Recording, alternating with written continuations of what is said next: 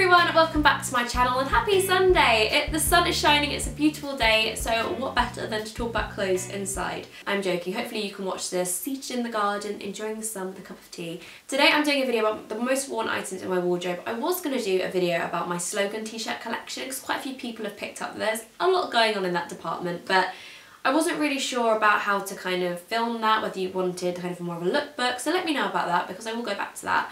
But for today I wanted to talk to you through the most worn items in my wardrobe because especially around this time of year I've been picking out the same kind of pieces to style outfits with. So I thought I'd talk you through those. I really like seeing these videos. I know a few other bloggers have done these and it's really useful to kind of, it's more of a, I feel like it's more of a collected or curated capsule wardrobe video for someone because it's more personal than just saying, hey, you need a striped top, you need a blazer, you need a fedora hat. It's more personal to that person. So I think talking through someone's most worn items is almost like seeing a capsule wardrobe video for that person's particular style. So I thought I'd talk you through about 10 of the items that I've been loving the most. So let's get going. The first item, which you may have to pardon because all being most worn items, some of them look more loved than others. The first item are of course my Superga trainers. These are definitely one of the most worn pairs of shoes I have. These are the leather ones, so they I feel they wear slightly better, but it does mean that I can't put them in the wash, I think, because I feel that that would ruin them. I absolutely love these. I feel like a trainer like this looks great with everything. It looks really cool with a midi dress, kind of paring everything down. Looks great with jeans, great with little summery skirts, great with midi skirts, especially if you want to wear the pleated midi skirt trend. Pairing them with a cool pair of trainers kind of adds something a little bit retro, a bit grease-like. They're also really comfortable. I wore these all day the other day to meetings and I wear them all day kind of every day when I'm walking the dog. As you can tell, they're not in the best condition, but they are definitely something I really love especially if, you know, it's that weird in-between season where you don't want to wear boots because they look a bit clunky, you don't want to wear sandals because, you know, feet get cold. These are a really nice in-between and they also add a nice casual effect to any look, so really love these. On the subject of shoes, I thought I took you through another pair of shoes that I have been wearing to death recently, and it is these espadrilles. I am a little bit late to the espadrille party. I bought a pair last year, which I think I spent, I didn't spend a lot of money on them, but they weren't that comfortable. And these are the one pair of shoes I do feel it makes a lot of difference if you put a little bit more money into them. That or if you buy them from a really good retailer. I bought a pair I think maybe from ASOS which were great, they were really cheap but they just didn't feel comfortable after a few hours, which kind of makes them a little bit redundant if you're not paying a lot. I bought these though from Castaner, Castaner, um, who are on Net-a-Porter or Net-a-Porter, um, and they are also on Farfetch. They have their own website, which is actually where I bought these from because I saw them on Matches and then they went out of stock and they never came back. They do look a little bit dirty because I've worn them so much, but I absolutely love the fact they are pink with this really gorgeous kind of maroon blush colour which looks really cool with a lot of things in my wardrobe at the moment. But the thing I love most about these is how bloody comfortable they are. They honestly are really soft. The fabric around the toe is really soft, kind of stretchy, and it's also got a bit of leather, so it kind of doesn't hurt your toes too much. That is the problem I get with a lot of espadrilles. I feel they kind of squish my toes in a little bit. The wedge is really soft, it's really comfortable. It's not too high, so it's really easy to walk in, and I've actually found a knack for keeping the string up my leg because damn, with shoes like this, Joe can vouch for me here that they just do not stay up. Every five minutes, I'm just like, one minute, I need to sort my shoes out. But with these, I feel they kind of last, they kind of can gather around the ankle a bit, but it looks quite cool, quite chic. And I absolutely love them. I'm looking at hopefully investing in a pair of the black ones or the white ones. My friend Carrie has both. And after seeing them and a few other bloggers I love wearing them, I'm just like, I think I need to do it for summer. I think I need to do it. But I absolutely love these. Great transitional piece and something I've been wearing so much of. Another of my most worn items, I, can, I feel like I'm veering into accessories very early on already, but I'm going to start with accessories, is this bag from And Other Stories. This is my favourite bag. I got this perhaps late last year, I think maybe December, and I've used it non-stop since. The reason I love it so much is because I feel it has the functionalities of like a basket bag in the sense it's got these really lovely little handles so you can use it and feel whimsical like Belle from Beauty and the Beast or something but it has the practicalities of something a bit more sturdy. So as you can see, it's kind of like a bucket style. It's got quite a wide bottom area. Actually fits in my Canon Mark III, which if you know is a really, really hefty camera. Just about fits that in with some headphones and my phone. It's just a really, really good bag. It's got a really nice thick strap so you can kind of wear it crossbody. And it's just, I think it's a really cool bag. People comment on it all the time. I think it's got a really beautiful design and it kind of looks a little bit pricier than it is. It's not the cheapest bag in the world, but still from the high street, so I think it's a really nice cool investment piece which looks really gorgeous in the evening and it also looks great during the day. It's just really versatile and I've just pretty much worn it non-stop since I had it and there is no sign of any scuffing, any wear and tear, no scratches and I'm not the most loving person sometimes to bags. I kind of just bash them around, put them on the floor on the tube. I don't nurture it that much and it hasn't really shown any sign of wear which you know that is really impressive so good job go team. Now for the last accessory, it is these sunglasses, which are Celine. I'm not really a designer sunglasses person, mainly because I feel like I can't ever find a pair that suits my face shape, because my face is quite square. I feel that sometimes if I wear something quite small, it makes my face look like the moon, and I just, I struggle to find good sunglasses. And these aren't the cheapest, but the shape on these I feel actually does me favours. It fits my face and whenever I wear them I feel like Victoria Beckham, which I think is only ever a good thing and I just feel really cool. So absolutely love these. These are the one pair of sunglasses that whenever I can't find them, I'm just like, oh my god, where are they? And I haven't found a high street replica or dupe of them yet. I will have a look, especially for this video. I'll have a scour on the internet because they are great. They're really sturdy, good thick arms. They just do the job and I absolutely love them. Moving on to clothes now, the big thing, the big thing. The first item that definitely falls into my most worn because I've worn them for a few years now. I've still got them in my wardrobe and I've since picked up a few variations of them because I love them so much are these gingham trousers.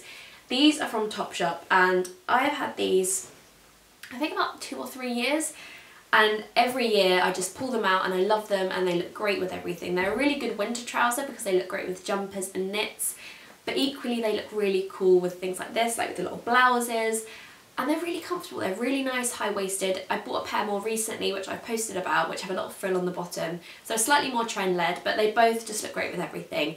They're a nice kind of balance between something slightly more tailored if you want something smarter that goes with heels, perhaps for the office, and something that's just quite casual as well. Looks great with those trainers, looks great with ballet flats, and it's just a nice kind of weekendy, casual piece, weekday, whenever any day of the week. But I really love them. They're really, really gorgeous fabric and I just, I wear them all the time and I just don't think I'm ever going to be able to give them up because I'm just quite obsessed with them and you know gingham is all the rage at the moment so big love for these. A couple more items I've been absolutely loving and these are really boring so pardon the boring chat but a white t-shirt. I picked up the first one I'm going to talk about actually maybe a year or so ago and I wear it all the time. It's a bit creased but whenever it's in the wash I just feel lost without it. And I think this video is perhaps what it should be called, it should be called items that when they're in the wash I don't know what to do with myself because all of these pieces are things that when they go through the ironing pile I'm like where are they? I haven't found them. I can't wear them. So they just get so much wear. And the first is this little white long sleeve t-shirt from Brandy Melville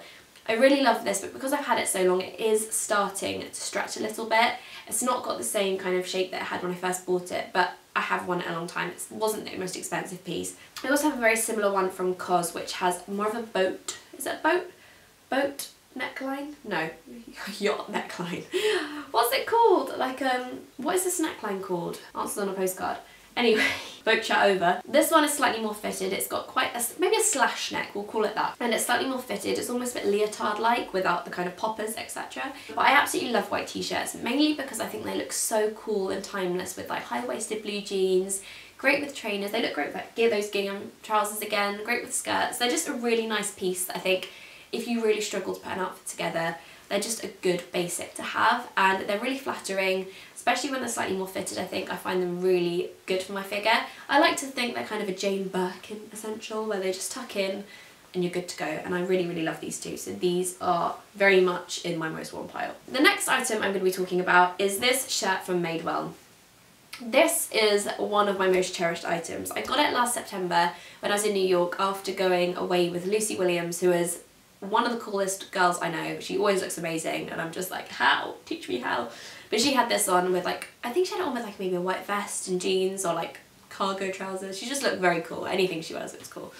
But I saw this in Madewell and I was like, I need it. And I haven't really worn kind of like a flannel shirt in years. Probably since, I don't know, MySpace days when I used to wear check flannel shirts with like bodycon dresses and like DMs. I don't know, it's been a while. But I saw this and I was like, wow, she made it look cool. It's kind of like the effortless, I'm just going to throw this on, do a bit of painting around the house kind of shirt. But I picked it up and I wear it all the time. It's really good it's quite cozy. It almost acts as like a jacket sometimes when you don't want to put a jumper on or a leather jacket. This is a really nice piece. It looks great with little t-shirts underneath, great with the vests and or even buttoned up to the top if you're just thinking. If you want pure comfort, this is it. And it's just really lovely. It's quite oversized and boy-friendly, but I absolutely love it. Madewell have some really great pieces like this. Really good, basic, staple pieces that just look cool with like little cut-offs and just take you through from day to night, any day of the year. Absolutely love it. Moving on to this navy jumper. This is one I picked up from And Other Stories because their knitwear is the best. It's probably some of the most reasonable on the high street. It's not the cheapest, but I think for the quality combined with the price, it is the most reasonable because this jumper is kind of like a boiled soft wool. I think it was about £35, which personally I think is really good for a great knit and it's not shrunk, it's not changed shape and I can just wash it, leave it, and it kind of goes back to exactly how it should be. And this is gorgeous because it looks really cool, again, tucked in with jeans. I love wearing it on days where it's kind of sunny, but still quite nippy. And I love wearing it tucked in with a big belt, kind of like even those espadrilles. The jeans I've got on, which I will talk about in a minute, and it's just great. It's slightly oversized. I feel a little bit like Steve Jobs when I wear it, but hey, is that ever a bad thing? I don't think it is and I love it. It's really cool, they've got some really great knits and I think a good navy knit is a really nice piece to have in your wardrobe because I think navy is slightly less harsh than black, especially in the summer.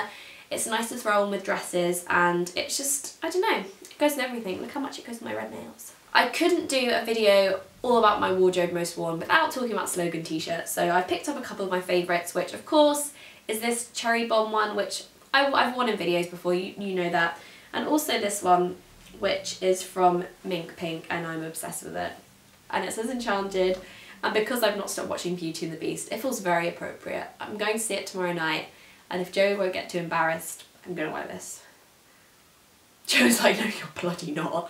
But I think it's a really cool top. It's kind of retro inspired, but it's a slight nod for any Disney fans out there, so I really love that. What do I need to say about slogan tops apart from the fact that they're great and everyone needs them? Check out Sezane as well for some really cool ones. In the UK, one thing I love wearing in the summer, especially when it starts warming up, are midi dresses. Namely because I don't love wearing anything too short because I'm quite conscious of, my pins because A, they're very pasty and this girl doesn't go to the gym a lot, so not my strongest point, but and it gets really chilly in the UK, so I don't like feeling the cold. We've spoken about heat tech vests before, so I really just love a good midi dress, and I have a few in my wardrobe, but I picked out this one probably because it's my newest purchase out of the midi dress sector, and because I absolutely love it and I cannot wait to wear it. And it's from a brand called Rixo, which I've only just gone on to Net-a-Porter, but I've always, always loved them. They were stocked on their own shop for ages, and I was admiring a lot of their dresses for a really long time. Um, and they're gorgeous. The prints on them are stunning and what I love about this dress is how beautifully made it is. It's got these gorgeous buttons all along the front but the inside lining of this dress is absolutely amazing. It's got this beautiful silk fabric in the inside, like the front is kind of a really soft cotton and the inside is a really gorgeous silk and the attention to detail on this dress is absolutely unbelievable and it's when you save up and spend a bit more money on things like this that I do think this is the kind of thing I'm going to have in my wardrobe for years and I really appreciate how well made it is. I don't know an awful lot about the brand but things like this I just love having in my wardrobe and they are the most worn things come this time of year. Again this with espadrilles basket bag, you're sorted. I could get married in this as well. Joe's like, no, no. Last but not least, I feel like I'm wearing the last few pieces I talk about and that is of course a blouse, a white blouse because I have so many. This is one of my current favourites. The sleeves are just a great storage system really. You can put snacks in here, it's great. But I love the detail, I love the, the florals, could get my words out there. And then these jeans. I talk about jeans all the time but these jeans are my favourite. These are the ASOS Farleigh jeans and I cannot sing highly enough about them. They are my favourite jeans from pretty much all brands. I've not tried every jeans brand in the world but of all the jeans I've tried I think these are my probably the pair that I feel most comfortable in. They're high-waisted, the straight leg, slightly skinny but still comfortable enough that it looks, I don't know, it looks cool. It's not too fitted to the ankle which I really love but the fact they're quite high-waisted just is so flattering. I think they look great on a lot of figures as well. They're not necessarily limited to one figure. They're high-waisted, but they also are straight legged, so they're not necessarily that skinny, but they just are so flattering and they look great with everything. I've got the light wash on at the moment I do have the indigo pair upstairs and I just can't get enough of them. And that is a wrap. I really hope you enjoyed this video and enjoyed kind of more of a sneak peek into my wardrobe, the most worn things I've been loving. Hope I didn't waffle too much. If you did like it, please give it a thumbs up and subscribe if you enjoyed. There will be another fashion video coming very soon. There's going to be some more interviews with people, which is very exciting. I've listened to some comments, so hopefully I can get some more great people on. Really hope you've been enjoying those too, and I think that's everything. So enjoy your Sunday, enjoy the sunshine, and I will see you next week. Bye!